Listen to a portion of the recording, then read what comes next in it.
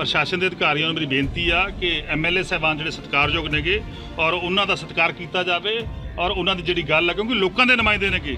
3 ਲੱਖ ਲੋਕਾਂ ਨੇ ਆਪਣਾ ਨੁਮਾਇੰਦਾ ਚੁਣਿਆਗਾ ਉਸ ਨੁਮਾਇੰਦੇ ਨੂੰ ਪਤਾਗਾ ਕਿ ਕੀ ਮੁਸ਼ਕਲਾਂ ਨੇ, ਕੀ ਮੁਸ਼ਕਲਾਂ ਦਾ ਕਿਵੇਂ ਹੱਲ ਕਰਨਾ।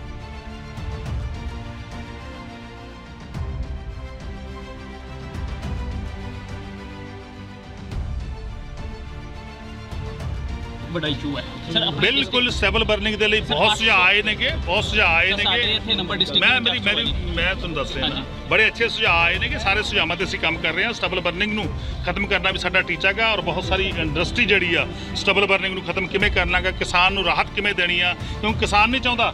ਕਿਸਾਨ ਕੋਈ ਵੀ ਕਿਸਾਨ ਨਹੀਂ ਚਾਹੁੰਦਾ ਕਿ ਪਰਾਲੀ ਨੂੰ ਅੱਗ ਲਾਈ ਜਾਵੇ। ਸੋ ਉਹਦਾ ਪ੍ਰਬੰਧ ਕਰਨ ਦੀ ਜ਼ਿੰਮੇਵਾਰੀ ਸਰਕਾਰ ਦੀ ਹੁੰਦੀ ਆ। ਪਹਿਲੀਆਂ ਸਰਕਾਰਾਂ ਨੇ ਜ਼ਿੰਮੇਵਾਰੀ ਆਪਣੀ ਨਹੀਂ ਨਿਭਾਈ। ਅਸੀਂ ਬਿਲਕੁਲ 100% ਨਿਭਾਵਾਂਗੇ। पंजाब के खजाना मंत्री हरपाल चीमा की तरफ़ से आज बटाला में इंडस्ट्रियलिस्ट और कारोबारियों के साथ आने वाले पंजाब के बजट को लेकर सुझाव लेने के लिए मीटिंग की गई। वहीं उन्होंने कहा कि यह पहली बार होगा कि पंजाब का बजट पंजाब के लोगों की राय और विशेष तौर और हर वर्ग के लोगों की मर्ज़ी का बजट उनकी सरकार की तरफ़ से पेश किया जा रहा है। इसी के साथ ही आज एमएलए बटाला अमन शेर सिंह कलसी की पुलिस, गुरदासपुर से रोहित गुप्ता की रिपोर्ट, लाइव भारत। ਪੰਜਾਬ ਵਿੱਚ ਸਰਦਾਰ ਭਗਵੰਤ ਸਿੰਘ ਮਾਨ ਜੀ ਦੀ ਸਰਕਾਰ ਨੇ ਫੈਸਲਾ ਕੀਤਾ ਸੀਗਾ ਕਿ ਜਿਹੜਾ ਪਹਿਲਾ ਬਜਟ ਸਰਕਾਰ ਪੇਸ਼ ਕਰੂਗੀ, ਉਹ ਜਨਤਾ ਦਾ ਬਜਟ ਹੋਊਗਾ।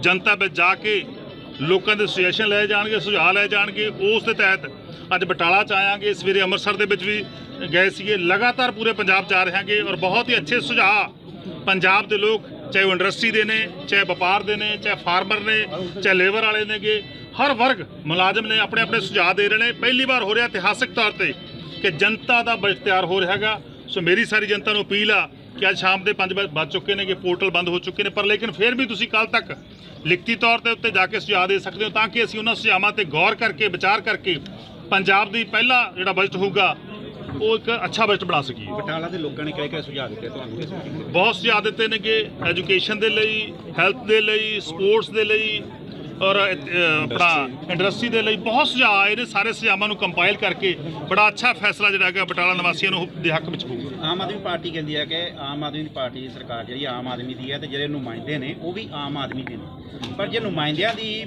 ਪੁਲਿਸ ਪ੍ਰਸ਼ਾਸਨ ਨਹੀਂ ਸੁਣੂਗਾ, ਤੇ ਫਿਰ ਆਮ ਆਦਮੀ ਕਿੱਥੇ ਜਾ ਕੇ ਫਰਿਆਦ ਕਰੇਗਾ? ਤੁਹਾਡੇ ਲਾਗੇ ਖੜੇ ਨੇ ਐਮਐਲਏ ਸਾਹਿਬ, ਇਹਨਾਂ ਦੀ ਵੀਡੀਓ ਇੱਕ ਵਾਇਰਲ ਹੋ ਰਹੀ ਹੈ ਡੀਐਸਪੀ ਬਟਾਲਾ ਅਤੇ ਐਸਐਚਓ ਸਿਟੀ ਨੂੰ।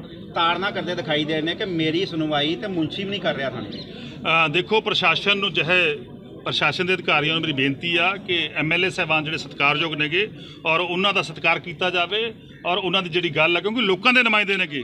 3 ਲੱਖ ਲੋਕਾਂ ਨੇ ਆਪਣਾ ਨੁਮਾਇੰਦਾ ਚੁਣਿਆਗਾ ਉਸ ਨੁਮਾਇੰਦੇ ਨੂੰ ਪਤਾਗਾ ਕਿ ਕੀ ਮੁਸ਼ਕਲਾਂ ਨੇ ਕੀ ਮੁਸ਼ਕਲਾਂ ਦਾ ਕਿਵੇਂ ਹੱਲ ਕਰਨਾਗਾ।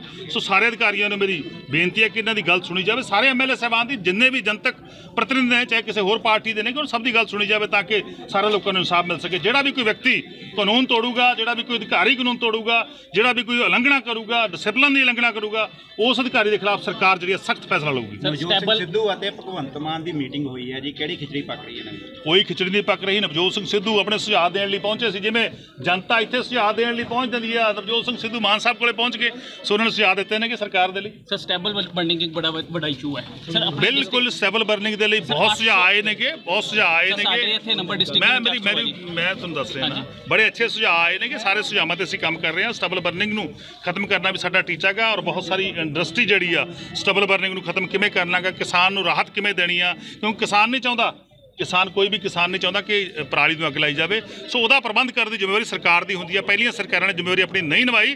ਅਸੀਂ ਬਿਲਕੁਲ 100% ਨਿਭਾਵਾਂਗੇ ਔਰ ਅੱਗੇ ਨੂੰ ਜਿਹੜਾ ਹੈਗਾ ਪੰਜਾਬ ਵਿੱਚ ਕੋਈ ਵੀ ਮੈਂ ਸਮਝਦਾ ਕਿਸਾਨ ਫਾਰਮ ਜੀ ਨਹੀਂ ਆਪਣਾ ਬਟਾਲਾ ਸ਼ਹਿਰ ਸਰ ਅਨਪਲੈਨਡ ਵਸਰ ਡਿਵੈਲਪ ਹੋਇਆ ਜੀ। ਉਹਦੇ ਵਿੱਚ ਸਾਰੇ ਪੁਰਾਣੇ ਸ਼ਹਿਰ ਜਿਹੜੇ ਅਨ ਪਲਾਨਿੰਗ ਡਿਵੈਲਪ ਹੋਏ ਹੋਏ ਨੇਗੇ ਔਰ ਬੜੀ ਪਲਾਨਿੰਗ ਦੇ ਨਾਲ ਜਿੱਥੇ ਵੀ ਕਿਤੇ ਘਾਟ ਹੁੰਦੀ ਹੈ ਉਹਨੂੰ ਠੀਕ ਕਰ ਰਹੇ ਹਾਂ ਠੀਕ ਹੈ